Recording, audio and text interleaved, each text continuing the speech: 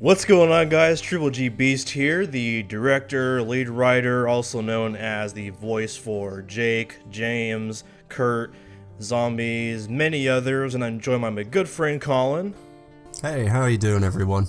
So as you guys know, uh, he is the uh, official voice actor for Carter, executive producer, uh, co-writer, and co-filmer, I guess you could say.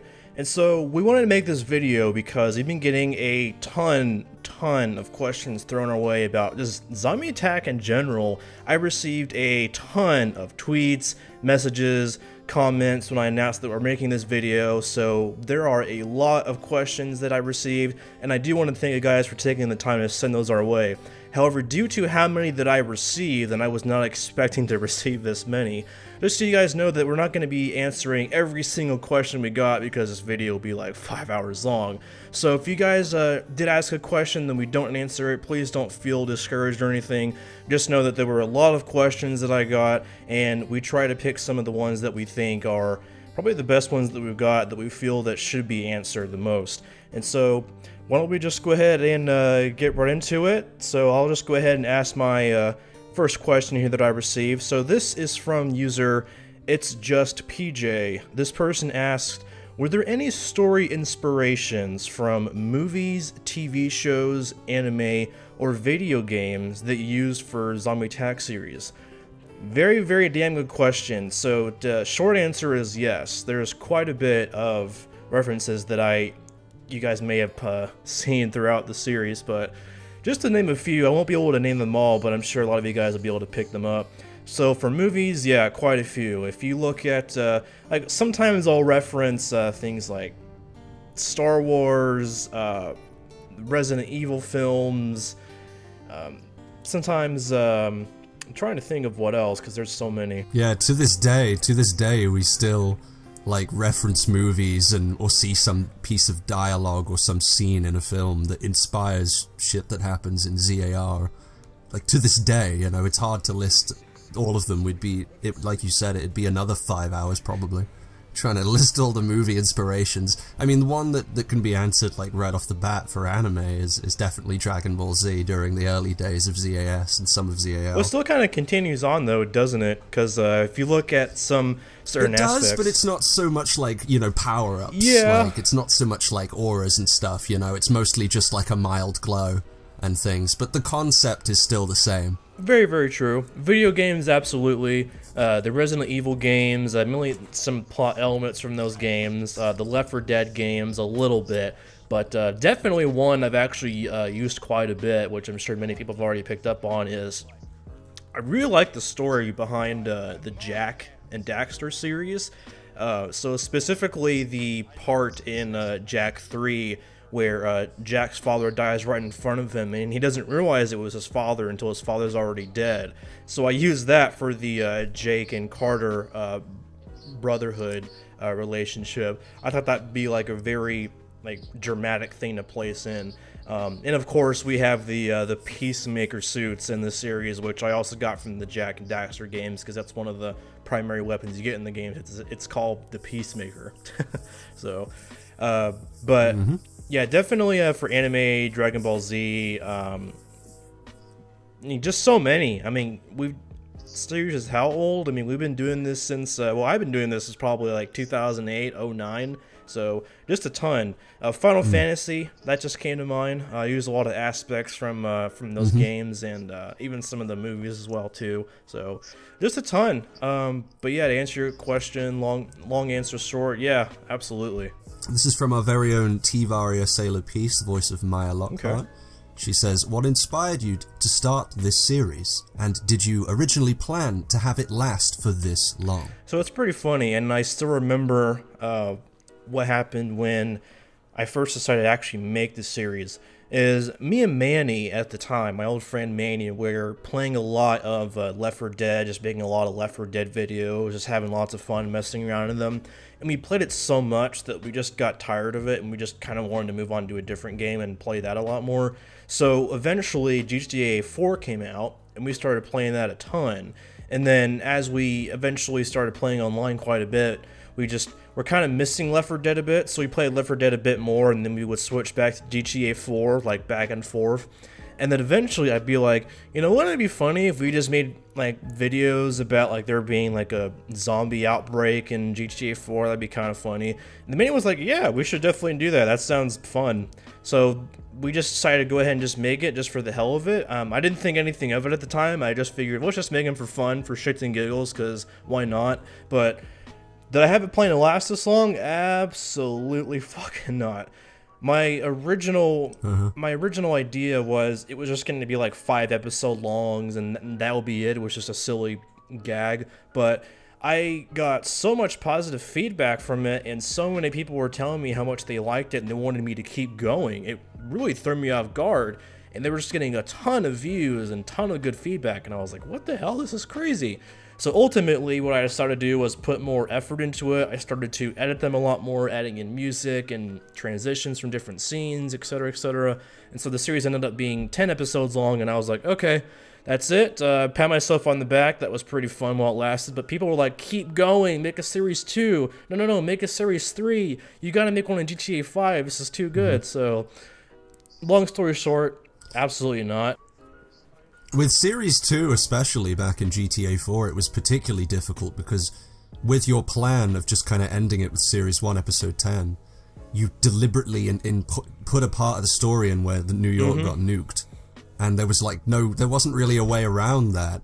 And it, that's kind of another funny part of is when I met because I that's how I first got in contact with Josh as, as a fan watching the show. I, I messaged him over YouTube and suggested the idea for the gene bomb which then allowed him to birth season two, and and then I came in as Carter as well. So basically, no, nothing nothing was intended to go on as long as it as it has. It just kind of did. And, so. Yeah, and I saw that idea, and I thought that that was like very interesting, a very unique idea. Um, he kept, you know, he was very simple about it. He was like, I don't want to take up too much of your time, but there's this idea, and of course, he took it from the Sonic games, I've no doubt there, because Colin is the biggest Sonic mm-hmm. fan on Earth. But, but he's like, yeah, there's this idea about this gene bomb where it just takes out bioorganic things, not actually destroying, you know, the structure of things, like the buildings and whatnot will be intact. I was like, that is a really good idea, actually. Let's just incorporate that. Because when people were asking me to continue the series, I was like, how? New York is ashes.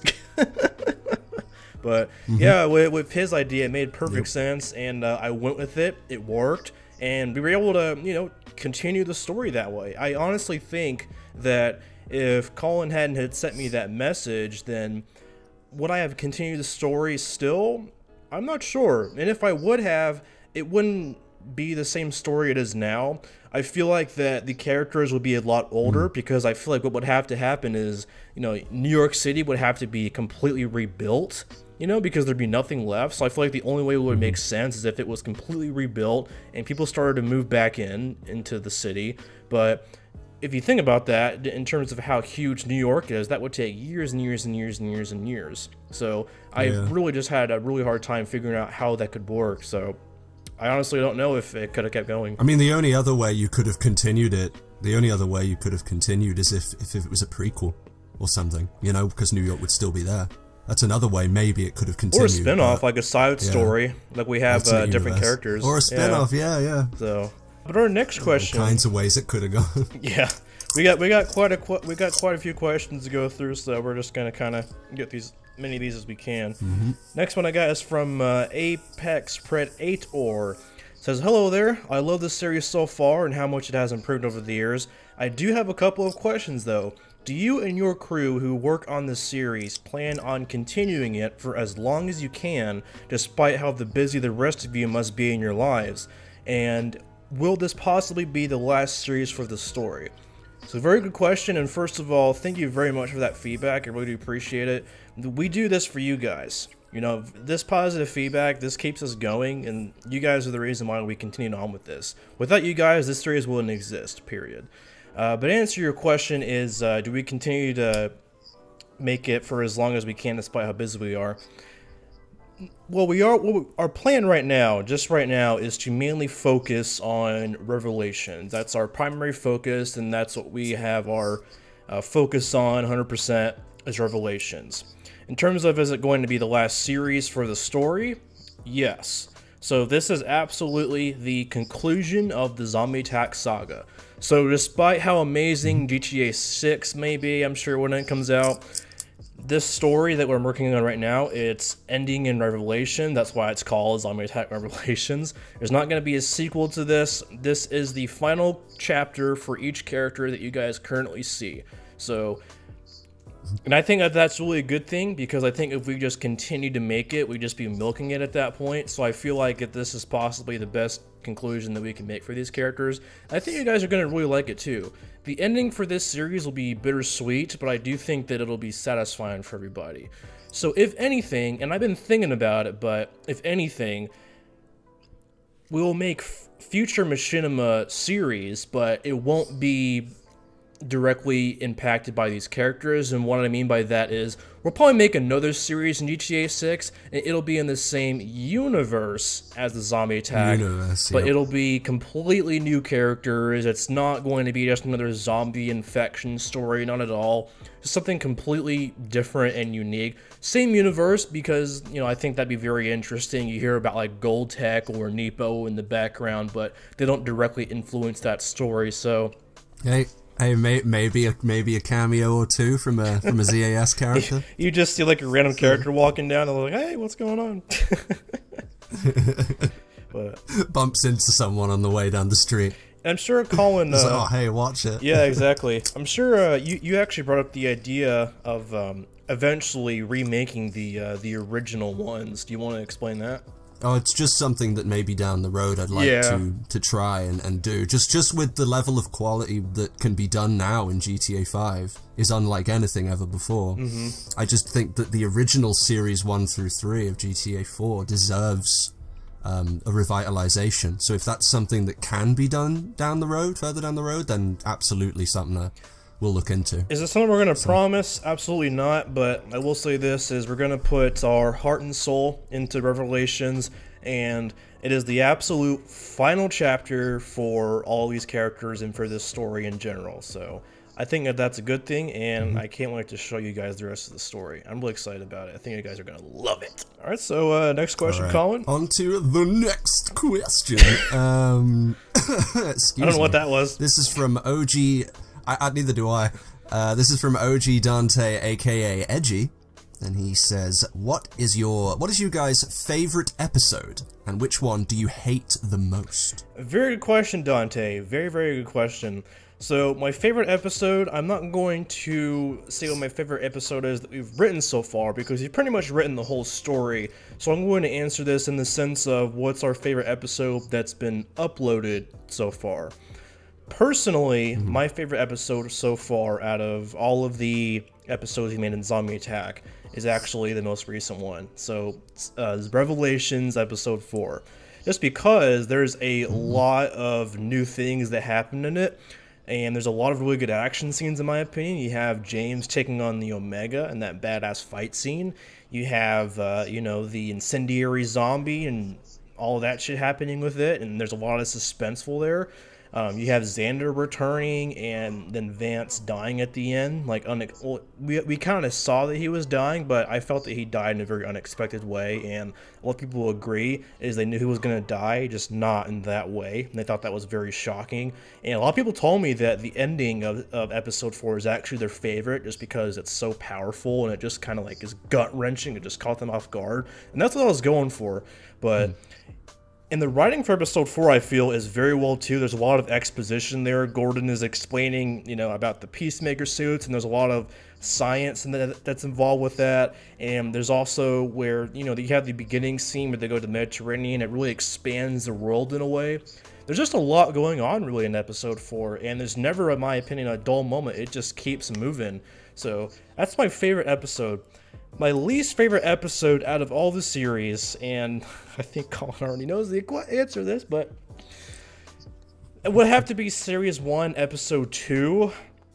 Mainly because everything that went with filming that episode did not go according to plan. To be fair, in my defense, is again, like I mentioned earlier, is I really just made the first series, of course, the first five episodes just as shits and giggles. I was just kind of like having fun along the way.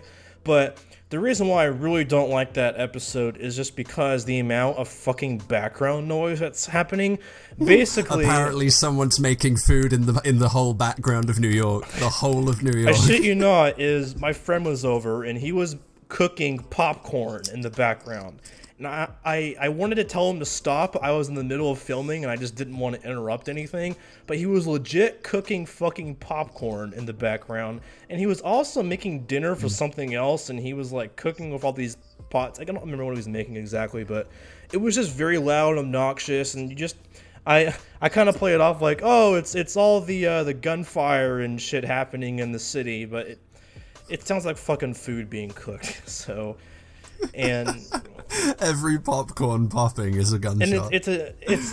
That's I great. mean, really not much. It, not much happens in it. I mean, really, it just starts out. They're in the warehouse. Like, we have to go get more food and supplies. But hey, we should go see if our friend's still alive. And they go there. Nope, he's dead. And so is his brother. Well, that sucks. Let's just go back to our warehouse. That's all that happens. So but, you know, in the long run, I use that specific story element that took place in that episode to be of really great significance later on because we figure that that's Trevor and his brother Kurt, who becomes the most badass villain ever mm-hmm. later on. But yeah, see, the only really mm-hmm. good thing in that episode is where uh, Josh and Manny see Trevor and Kurt dead. And by the way, just fun fact, I was never anticipating there to be two dead people there. I just thought there was going to be one. So the fact that there's two people there is complete coincidence. And just for the shows you how like I've decided to interpret the story later on just by random things that happen in series one. So yeah, those are my favorite and those are my least. What, what about yours, Colin? I'm actually pretty interested to see what you have to say.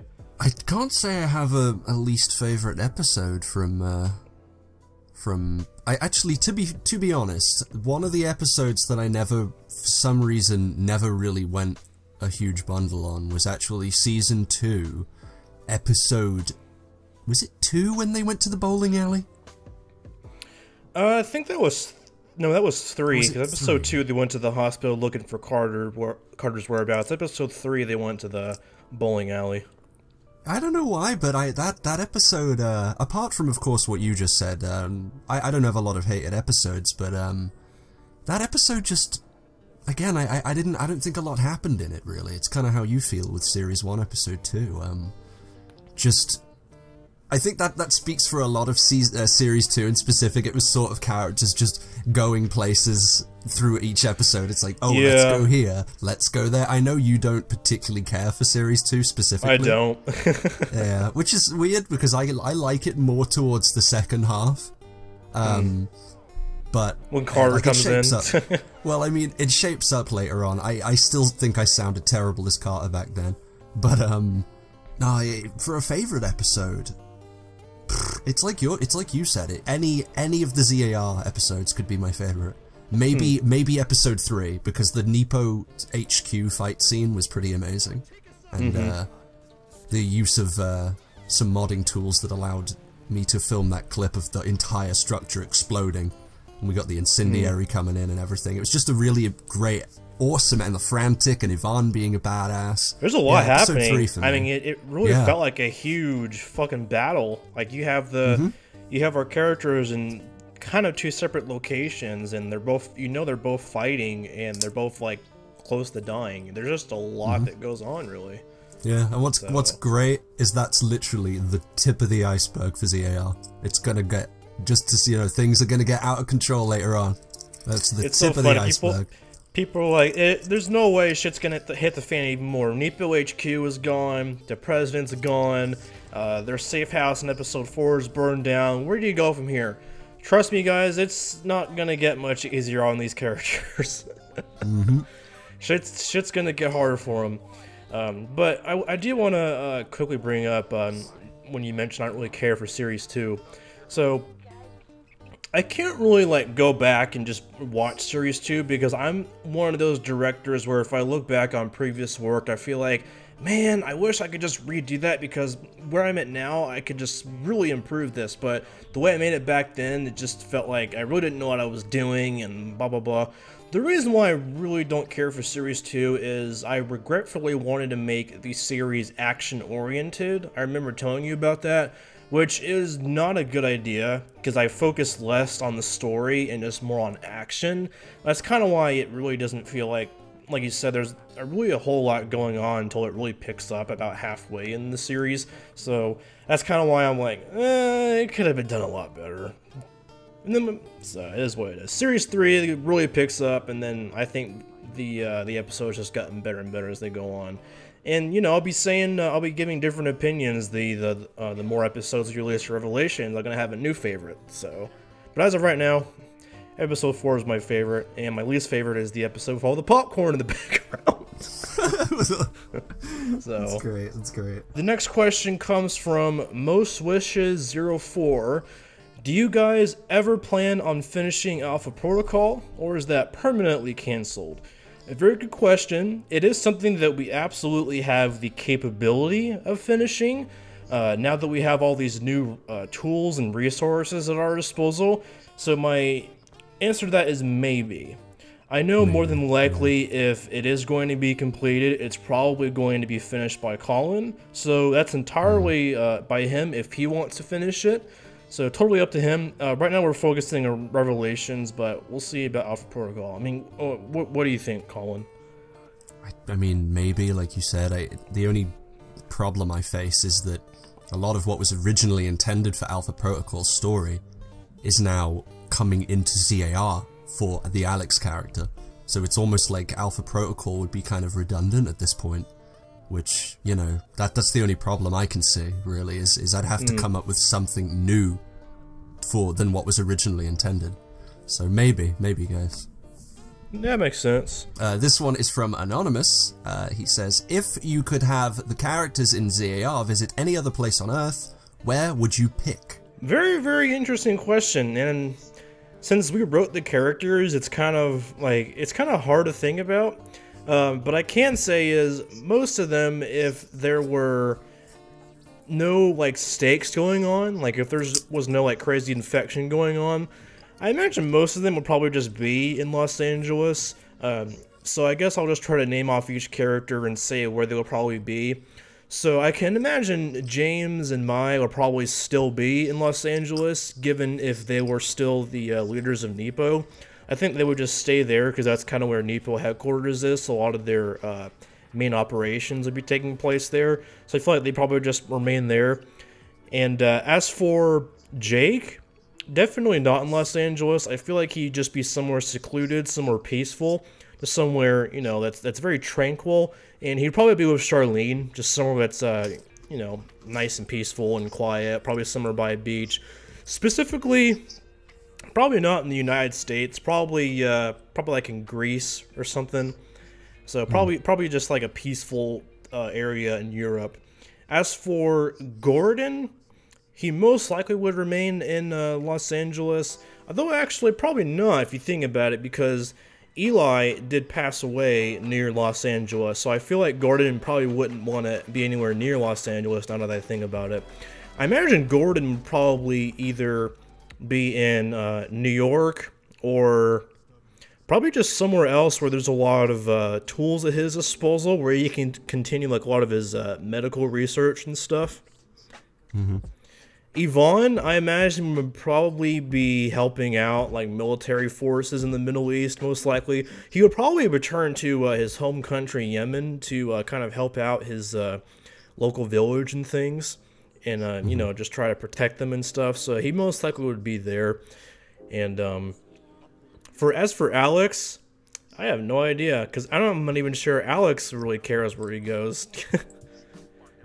True, yeah, he doesn't care. He doesn't. He, he just just a bar. Oh yeah, let's uh, let's talk about now that I mentioned the word bar. Where would Justin be? Justin would probably be at the probably at some pub in London getting shit faced, and then blacking out and then waking up in a completely different location, most likely. Uh, Yeah. As for Manny, Manny will probably just be having a normal life. Like he'll probably just be settling down in Chicago with his family and, and things. Uh, Colin, since Carter is uh, your character, where, where do you think he'd be up to? I imagine that he. I don't know, honestly. I, I can't off the top of my head think. I imagine maybe he'd just kind of go soul searching. Like he'd go traveling, you know? To. to kind of like find his place in the world a little bit better. He might just go from place to place at random. Kind of like Alex in a way, and that's probably more related to serum users in general. He'd probably just go on a. a bit of a hmm. travel, really. You know what I mean? He'd, not having a full purpose anymore. So yeah, Okay. no, s- no place in specific. Yeah, yeah, that makes sense.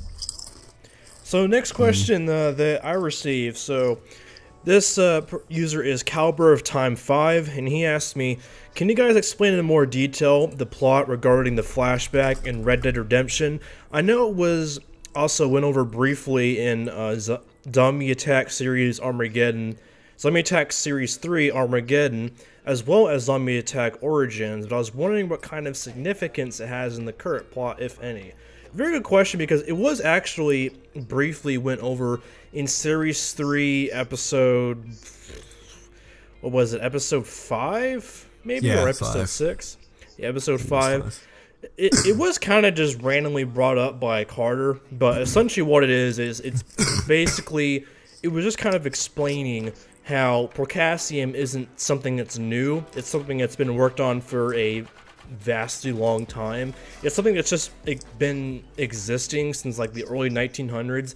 I mean, what it was is there was this scientist who, you know, just wanted to improve people's health. He wanted to improve people's uh, life expectancies and what have you. So really, it's just showing that the Procasium itself has been along for a really long time. It's not just something new. And later on, it's it's kind of why a modern company wanted to kind of continue that work to try to complete it because they liked the idea.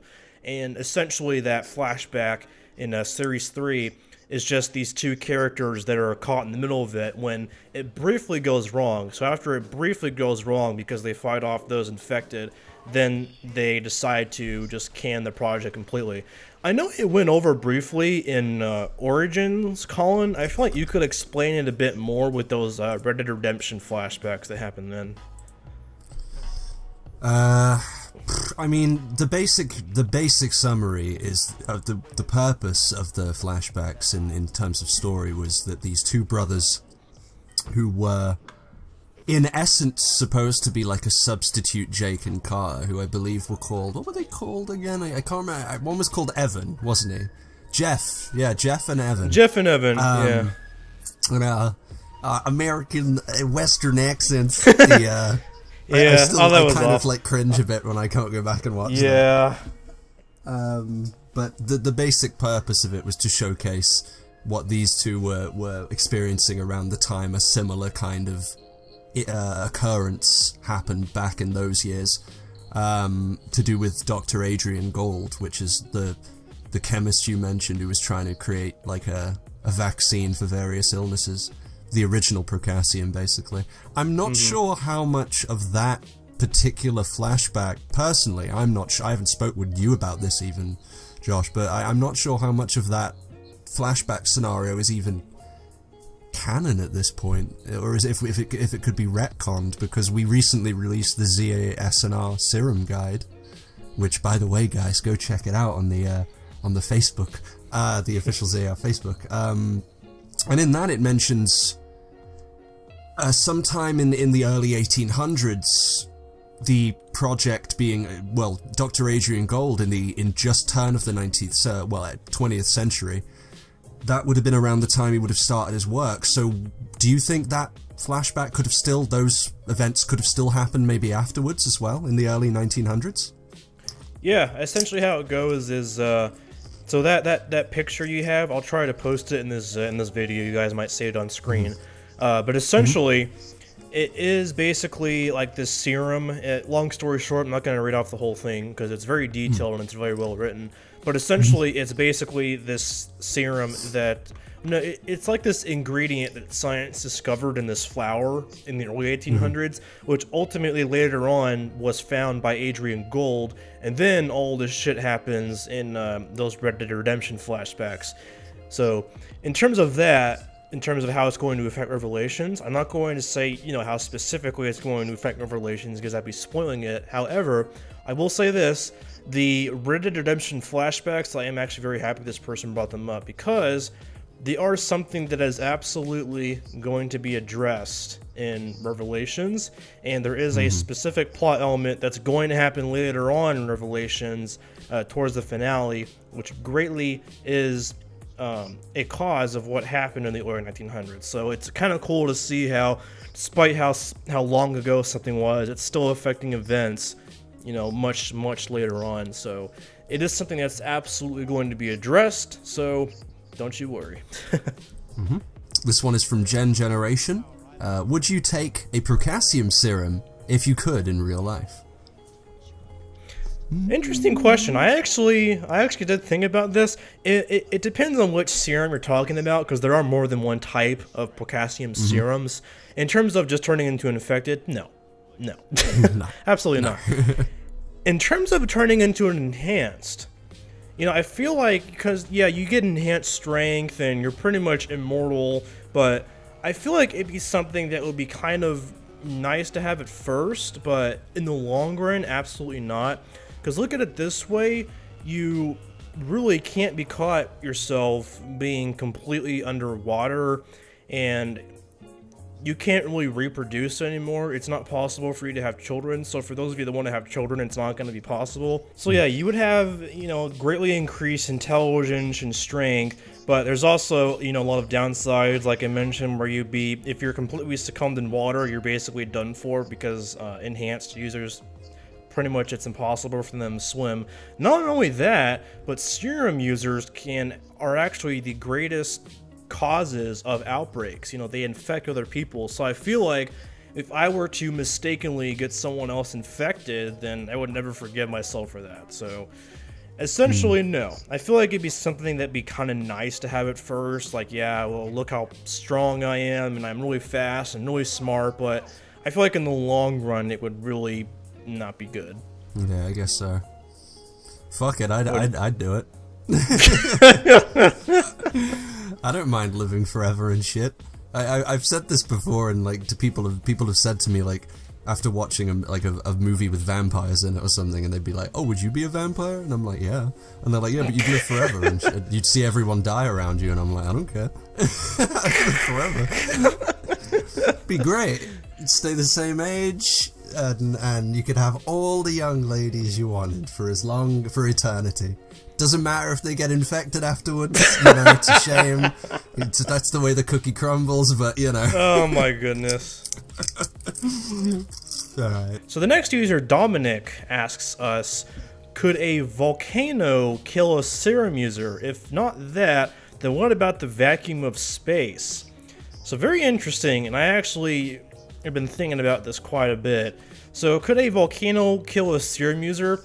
I feel like it, it depends on the level of strength that, that that that serum user has. I feel like if it was someone like Arson, Kurt, Carter, perhaps Alex, most likely I feel like it would definitely injure them. And if they were, you know, completely encased in lava, then they're pretty much done for. I feel like in in this, if, if trying to compare it to and how how would it feel to a normal human, I feel like if a normal human caught on fire, it would feel like that to a serum user like succumbed in lava, essentially, to make that comparison. So it hurts like a bitch, but if you get out of it pretty quick, should be fine. Uh, vacuum of space. So here's the funny thing: serum users don't need air to survive. They don't. They don't. That's true. That's true. But don't. I present I present a secondary problem with that. Right? It may it may be true that serum users do not need air to survive, but the liquid in their body, any liquid at all, would be automatically frozen in the vacuum of space, so they would be unable to die, Exactly. but frozen and unable to move and just float through space forever. Exactly. So Which there- would, if you think about it, that's the worst way to go. You know, Yeah. being in space, unable to die. Wow. Because if you think about it, it's actually more beneficial being a regular human and dying in space than a serum user. Because if you're just a mm-hmm. regular human, you're pretty much dead in space in like five seconds. But as a mm-hmm. serum user, it'd be like torture because your mm-hmm. internal organs are slowly like being frozen away, literally. A human, you're pretty much just done for like almost immediately. So I feel like it would suck you in more to be a serum user. Yep. Damn. Hey, maybe they'd get lucky and drift into the sun accidentally. That'd be a, that'd be okay. Hey, hey, there's mods in uh, in this in uh, GTA now, so maybe we could have a random serum user float in outer space and see what happens. You never know. yeah. Better note that one down. Yeah, write that down, man. All right, this one is from Zach11, and he said, "Hi, love the ZAR series so far. Uh, my question: What's the development cycle of each ZAR episode?" So this actually is kind of a long answer, so bear with me. I'll try to go over it in brief, and uh, Colin will add a bit more to it. But what it is basically before ZAR started, before any series really started, is we plan out the series in full. We kind of go over in brief what's going to happen in each episode. We give a brief summary of what should happen and how it impacts the rest of the plot and everything. So we write out the whole series, so that way we kind of know what we're getting into.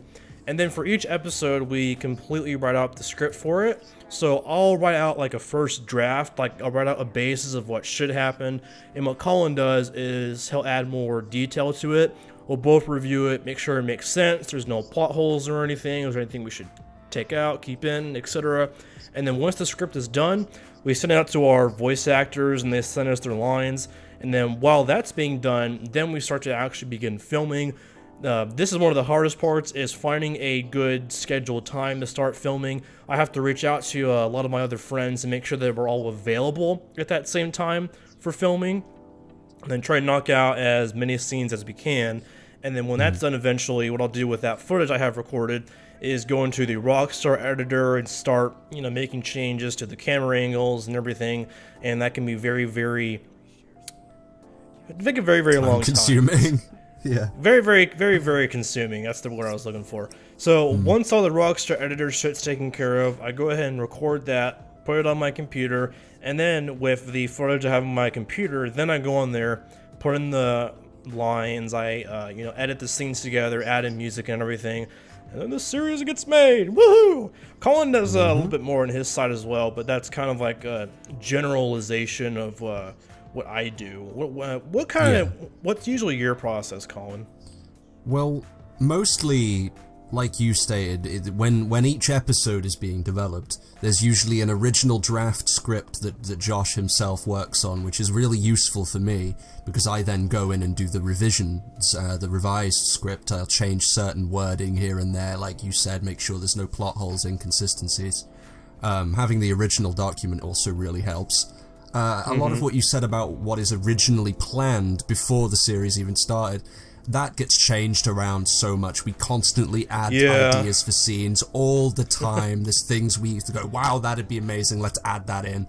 But and you know, we'll probably do a million more. But for the main part, one of my biggest roles with ZAR currently is, is the modded scenes, which again wasn't even a planned thing until episode two. But around the time I ended up getting GTA 5 on my on my PC, and uh, it, again, it's like you said when filming on, on console and such. It's it's a very time consuming process, not just because of using Rockstar Editor and such, but just using the mods for the scenes in general. You'd think that, that recording solo on your own using the full capabilities of, of mod, uh, mod GTA would make it easier. Somehow it doesn't. It takes a really long time to record like two minutes of a modded scene and then edit that all together. And, and shit constantly goes wrong, you know, because I'm using NPCs. So, like, I'll be, I'll like hit go, and the NPC will just walk off a cliff or something, and I'm like, fuck, and I have to like respawn him in, and yeah, it just kind of it, it, it's real uh, teeth grating, but when you put it all together, you get an awesome ZAR episode. So that's Absolutely. the process. So, yeah, essentially, it's it's very time consuming, uh, but we love it. But yeah, it's, it's definitely something that we're kind of used to at this point. Uh, most people, when I tell them the whole process we do, where it can take us up to at least a couple months, people are like, "Man, I would never be able to do that." But for us, it's like no big deal, really, because I guess we're just so used to it. Yeah. Next question, lol. This comes from a user named Remy. This person asks, is there anything you wish you could change about the story? Things that maybe you don't like anymore? Uh, yeah, I would probably change the background popcorn noise. For one thing. So, okay, all kidding aside, the, the actual story itself, things that I would change. So, specifically, I guess I'll just quickly go through uh, each series that we release and what I would change. Uh, in terms of Series 1, of course, I would get rid of a lot of the filler. Just a lot of like the stuff that kind of happens that doesn't impact the, the rest of the plot. And uh, with Series 2, of course, I would cut out a lot of those uh, action scenes. I really wish I could go back to Series 2 and put more, like, of, you know, important story elements in there instead of just having action scene after action scene after action scene and just goes, goes on and on and on. I feel like I would go back and put more story in there. Series 3, I would also get rid of some of the filler. There is some filler in Series 3 we get rid of. Like, for example, there's a scene that takes up, like, almost 10 minutes where the characters are just joking around, walking around, and, like, looking at new clothes. Like, mm-hmm. it is funny. It is funny to, like, have these characters, you know, interacting and messing around, but it doesn't really have any exposition, really. It's really just no. a matter of characters messing around and joking and stuff. And for me personally, looking back on it, it feels like it, it makes the overall tone a bit more silly and not as like dark and you know heavy hitted as like it should be. Because series 3 out of series 1 through 3 is like the darkest and most story heavy of them so far. So i feel like if we were to take a lot of the filler and just get straight to the point it'd be a lot more dramatic in that way. Before uh, before you go on can i actually ask you quickly was that clothes store scene did that happen right after they just found out that kurt was the villain that happened right after, literally, like as soon as they escaped from the museum. Mm -hmm.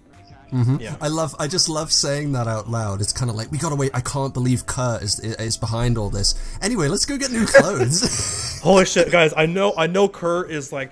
There's a brand new villain that just revealed himself, and shit's hitting the fan. This the city's going to shit, but I absolutely have to get out of these dirty jeans. I can't do it. it's great. Yeah. Oh, you, know, you know, just we need a scene like, like that is, for ZAR. Yeah, we, we, we need Bruno to come back and just be like, guys, I can't do this. I have to get a new shirt. mm-hmm. Uh, but yeah, so it, it for legacies, I don't think I really changed much. Looking back on it, I'm I'm pretty fine with it. Um, although actually, I just realized for Series Three, this is one of the biggest things I would change I would absolutely change how arson was executed. So oh, yeah. originally for arson is I was having I was planning on having him join the characters in the fight against Kurt. However, in the long run, I didn't really see how that would work in terms of, you know, filming it and stuff. So I didn't really know much what to do with them, so I decided that let's just have Carter kill him off. You know, let's have Carter take care of uh, you know Arson himself, and I feel like the fact that they just so happened to find like this really powerful bullet round in an mm-hmm. ambulance that just so happened to be strong enough to take out Arson It's just kind of like, you know, a forced plot element thrown in there, just a forced way to get rid of arson. So that's something mm-hmm. I would absolutely redo that I kind of look back on and didn't really like the way it was done. So if you could redo it, would you would you have Arson as one of the main characters? Like he would join them? Because that, yeah. imagine that. Wow, imagine that. I wonder how the story as we know it now would be impacted if, if Arson was originally with them as as the fifth member. That'd be really interesting. Exactly, huh. yeah. And and uh, so th that's something I would definitely change looking back on. For legacies, I just started thinking about it. Is I'm not really sure what the point of Eris's character was, other than to be like a rival for Khione. So if I were to go back and change it, I would actually have Khione probably kill Eris in some way. That would make Khione like more of a threat in a way. what and for Revelations, really, I don't really think I would change anything so far because I really like where the story is going and where it's headed. So I know that sounds kind of like, oh, Revelations, I to change a thing. No, it's true. I really don't think there's the problem with Revelations that we've had so far, and with what we have upcoming with it, I think stuff is looking really good. I'm actually curious, uh, what, what what do you think, Colin? What would you change if you had to say? Honestly, you've pretty much covered a lot of what I, I would have said. Like the arson comment, it was really surprising to me. But I, everything you've said is, is I can't think of many changes that could be made. Um, uh, nah, nothing off the top of my head. No, you pretty much summed it up. Okay. So. Yeah, well, it's, a, it's a boring answer, but I, I can't think of anything. What we it, what, I pretty much just because what, we, what we've done is is so well established that it's hard for me to imagine it in any other way now you know so it's just so mm. difficult for me to imagine oh you know if we hadn't have done this or if we hadn't have done that so yeah i i don't know honestly might have to uh maybe answer that at a later date maybe hey zar director's commentary when when that eventually is here yeah fair enough Mm -hmm. All right, guys. Well, we have uh, one last question to get through, so I'll let uh, Colin. Uh, you go ahead and take this one. Okie dokie. Um, Alright, this one is by Tabloid Extraction. And they say, Hello, just uh, gotta say I absolutely love everything you guys do. The progress you've made from the start is phenomenal, and the series is truly starting to feel cinematic. Thank you so much. My question is, do you guys have any tips or advice when it comes to making a machinima series? So firstly, thank you very much for that feedback, and that kind of feedback is the stuff we enjoy reading, and like I said, you guys are the reason why we do this, so I really do appreciate that feedback, that means a lot to us.